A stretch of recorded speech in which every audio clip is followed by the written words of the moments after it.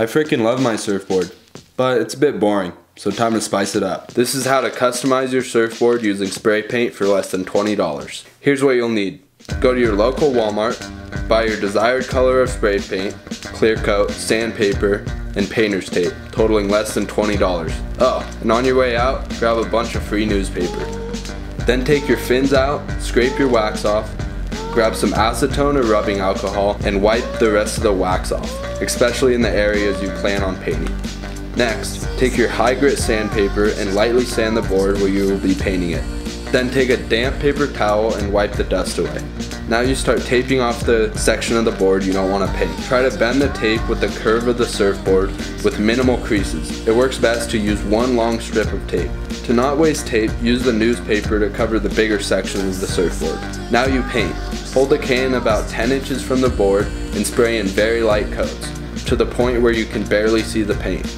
Make sure it is never wet enough to drip. Then wait about 10 minutes until the paint is dry to the touch, then throw another light coat on. Repeat this two to three times so that your paint is fully filled in, then let dry overnight.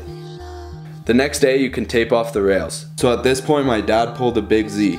He stepped in and showed me how it's done, letting me know that thinner tape bends a little easier. Then take the newspaper and block off the rest of the rails and you're set. Use the same strategy when painting the bottom. Light coats until fully filled in.